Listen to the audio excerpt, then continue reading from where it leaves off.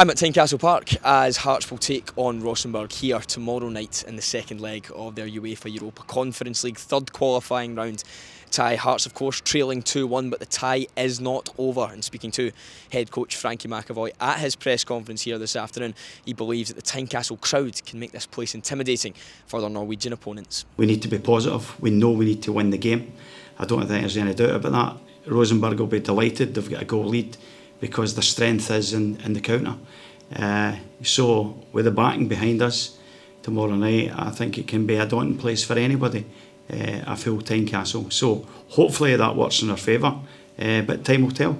Hearts fans have been slightly worried this week by rumours that club captain Lawrence Shankland could be on his way out of Tynecastle. Rumoured to be plenty of suitors over in Saudi Arabia chasing his signature. But speaking to head coach Frankie McAvoy this afternoon, he insists that there has been no formal offers for the club captain. No, a lot, if I'm honest with you. Uh, I think, well, obviously Joe and uh, deal with uh, recruitment and transfers. Uh, as far as I'm concerned, he's no intimated to me that he's he's wanting to move on. Uh, I'm not surprised if there is speculation regarding him because he's a top player.